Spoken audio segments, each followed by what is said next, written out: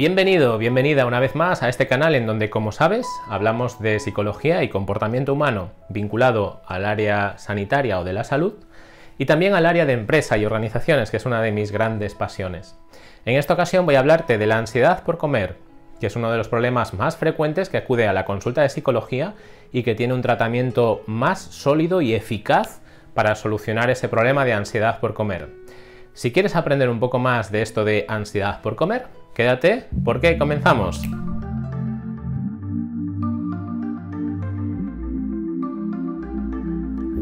Las personas que tengáis ansiedad por comer seguramente os encontráis identificadas en una situación en la cual pues abres la nevera y agarras a cualquier cosa que haya dentro, a veces un poco de fiambre por ejemplo, una lata de un refresco azucarado y lo mezclas con pan, con chocolate, con una lata de atún en conserva mezclada con un poco de tomate y ves que no guardan mucha relación a veces esos alimentos, ¿no? Y a, veces además lo ingieres a una velocidad un poco más rápida de lo habitual, de lo deseable, y lo más importante de, de las personas que tienen ansiedad por comer es que esto no lo hacen directamente por una respuesta de apetito, es decir, no tienen realmente hambre, y es algo que no pueden controlar, además, es decir, que no les resulta fácil parar y que además saben y reconocen que es un comportamiento inadecuado, es decir, que les puede generar un problema y que no les beneficia en absoluto.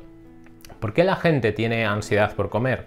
Bueno, hay diferentes explicaciones, una de las más potentes eh, que explica este problema es por ese eh, vínculo que ha habido a lo largo de nuestra infancia, adolescencia y casi toda nuestra vida entre el hecho de comer y un refuerzo, un premio, algo que estaba bien. Entonces nuestro cerebro lo ha ido generando, ha ido generando esas asociaciones entre comer y satisfacción o agrado.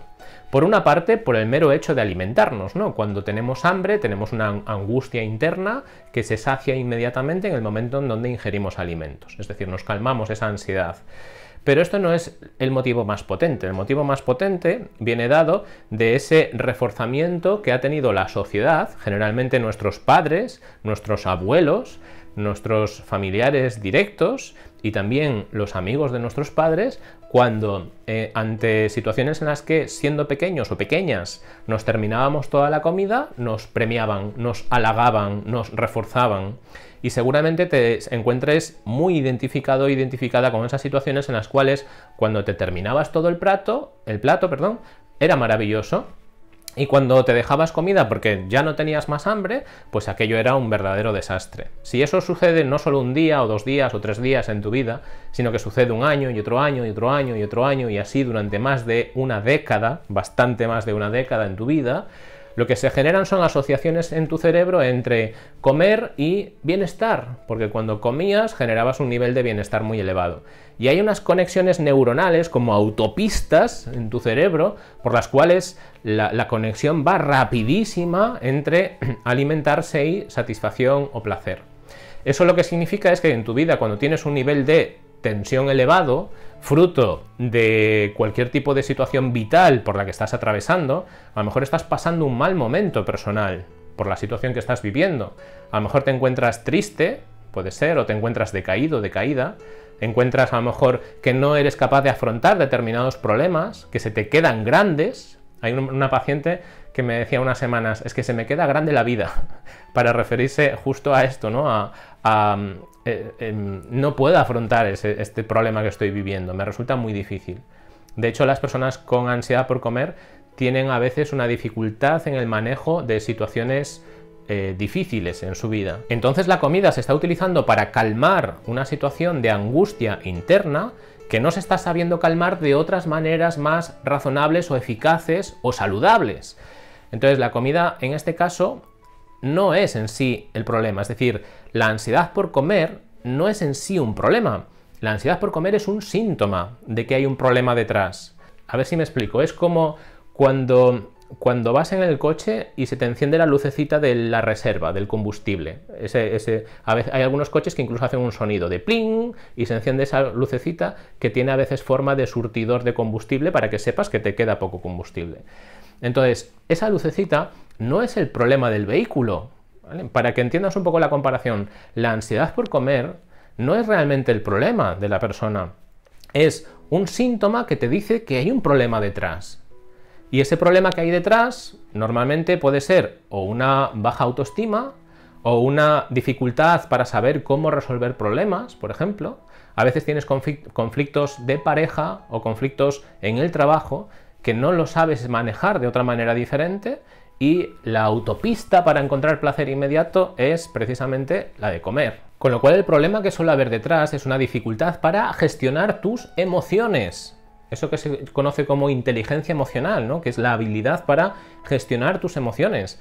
La gente que tiene ansiedad por comer está teniendo dificultad para manejar bien sus propias emociones.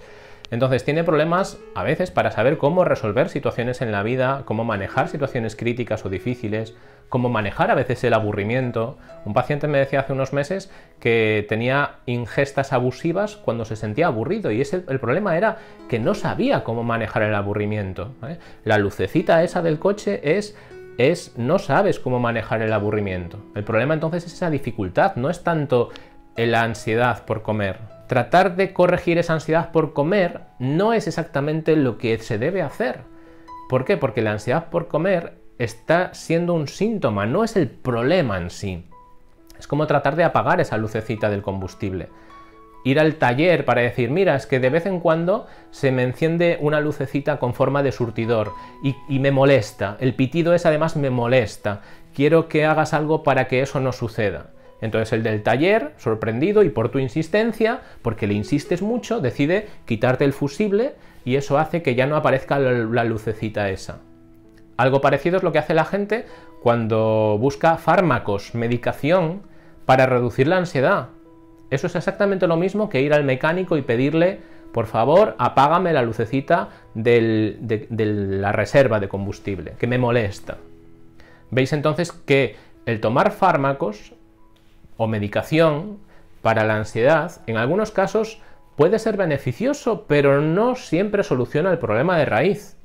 El problema de raíz se solucionaría si aprendieras a manejar tus emociones, que es precisamente lo que hacemos en las consultas de psicología, para ayudar a las personas a superar ese tipo de problemas.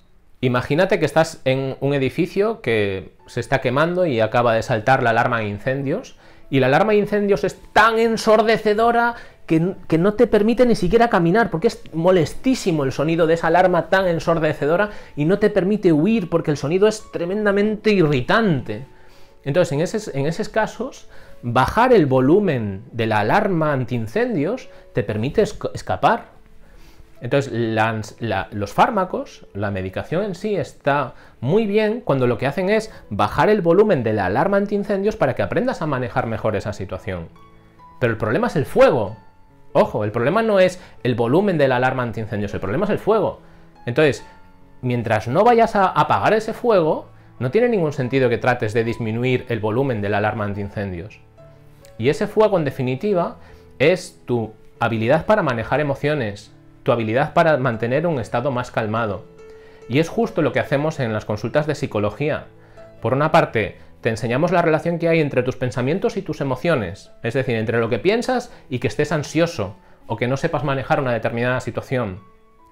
Es importantísimo que conozcas que tus pensamientos provocan tus niveles de ansiedad y tus preocupaciones y la angustia.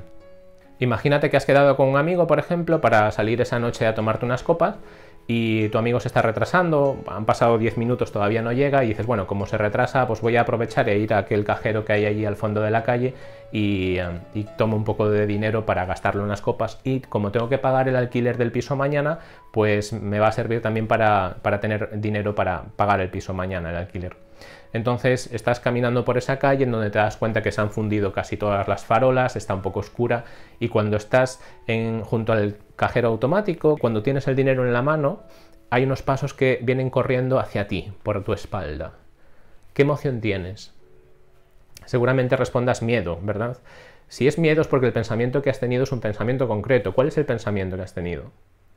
que te van a atracar quizás, ¿verdad? Ese pensamiento genera una emoción de miedo. Si el pensamiento fuese, ya viene aquí mi amigo, menos mal, me ha visto, la emoción que tendrías sería una emoción diferente, ¿no? De alegría. Para que veas entonces que tus pensamientos generan emociones. Porque hay personas que tienen muy automatizado el pensamiento catastrófico o negativista, que genera inmediatamente emociones negativas y necesitan aprender a pensar mejor. Por ejemplo, un paciente me decía hace unos meses, me decía, cada vez que suena el teléfono en mi casa, cuando son las 11 de la noche o así, mi madre dice, ay, ¿qué habrá pasado? ¿No? ¿Qué habrá pasado es que si suena el teléfono a las 11 de la noche es porque me van a llamar para darme una mala noticia. Lo tenía, su madre lo tenía como inmediatamente asociado a eso, ¿no? Es una situación precipita un, pensamiento negativo y desagradable. Cuando decía que, que, no recordaba, mi paciente decía, no recuerdo ninguna llamada en donde nos hayan dado una mala noticia por estarnos llamando a las 11 de la noche pero su madre tenía ese pensamiento, ¿no? Entonces, recuerda que el pensamiento genera emociones determinadas. En consulta explicamos una metodología que se llama discusiones de pensamiento, de la que te voy a hablar en uno de los próximos vídeos. Te animo si quieres eh, aprenderla a que le des al botón suscribirte y así en el siguiente vídeo te avisará. Y esa metodología de discusión de pensamientos negativos previene que te aparezcan pensamientos negativos, con lo cual la emoción negativa tampoco aparece. Y enseñamos también metodología de resolución de problemas, que es una metodología específica en consulta, de la que te voy a hablar también en, un próximo vídeo, para que la gente aprenda a resolver sus problemas de manera eficaz, porque hay veces en donde le das vueltas, le das vueltas, le das vueltas a una misma situación y eso te genera una angustia vital grandísima.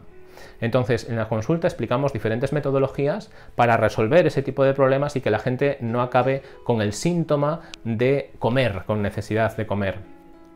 Y también en la consulta enseñamos metodología para mantener un nivel de relajación constante a lo largo del día. Porque el problema que aparece muchas veces es que la gente tiene un nivel de tensión elevada y con ese nivel de tensión elevada, cualquier pequeño pico de mala noticia que te aparezca en un momento determinado o te, te dicen algo que te molesta o que te irrita un poco y eso tiene un nivel de irritación así, ¿vale? Si tiene un nivel de irritación así, alcanza ya niveles máximos que precipitan la ansiedad por comer y la alimentación de manera abusiva. Si tú aprendieses a controlar tu nivel de ansiedad y tuvieras un nivel de ansiedad basal más reducido, esos picos que te provienen de una noticia mala o de un pensamiento irritante no alcanzan este nivel de precipitación de la ingesta abusiva. Por eso, uno de los de los recursos que utilizamos es el entrenamiento en técnicas y habilidades de relajación como una técnica que tienes en, mi canal, te la voy a dejar por aquí arriba, que, te invito a practicarla, o una formación completa incluso en manejo de la ansiedad.